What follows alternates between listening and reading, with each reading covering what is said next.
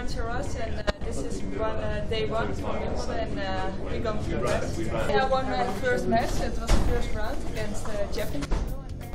I'm very happy about this match. This was uh, my first match I won in Wimbledon. First time I won a match, so I feel good.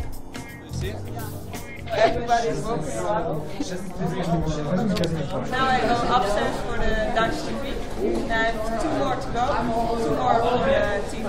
We go upstairs to the ball.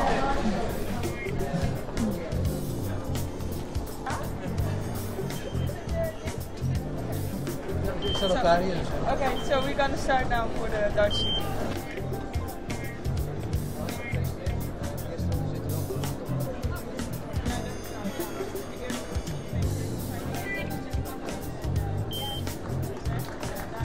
Now between all the supporters, going to gate 13 to make an interview there.